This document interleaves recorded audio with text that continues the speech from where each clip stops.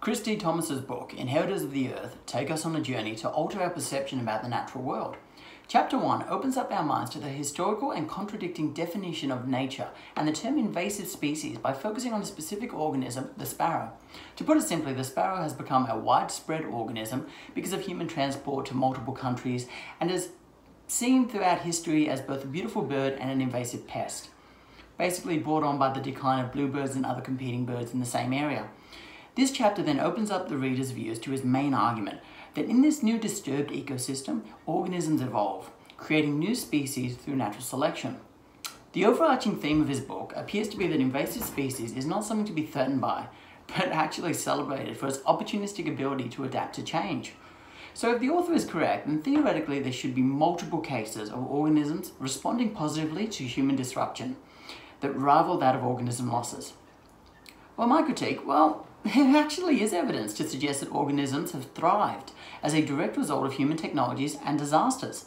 For example, Cladosporium sphaerospermum, or black fungus is easier. This fungus is the predominant species colonizing the base of the cooling towers from the nuclear disaster site at Chernobyl, Robertson 2012. This research article showed beta and gamma radiation accelerated growth, creating the fungus the term radiotropism, or simply the like of radiation. This directly contrasts the common view among scientists that radiation is disruptive and a detrimental force to biological life.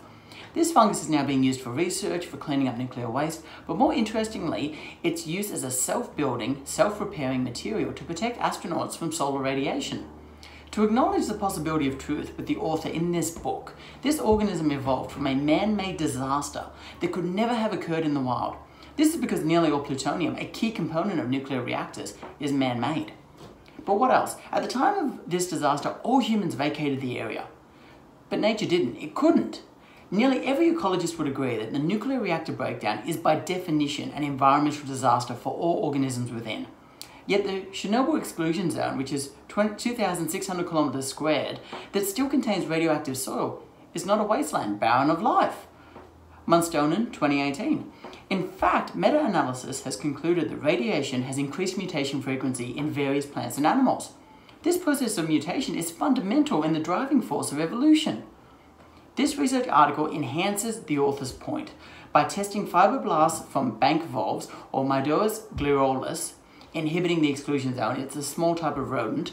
This, contrasting this to bank voles living outside the zone, the ones within showed elevated antioxidant levels, increased resistance to DNA stresses, and lower sensitivity to apoptosis.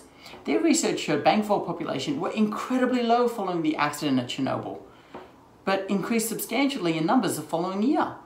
I believe this shows Chris D. Thomas's book, Chapter 1, to accurately reflect nature's ability to adapt to change positively brought on by human disruptions.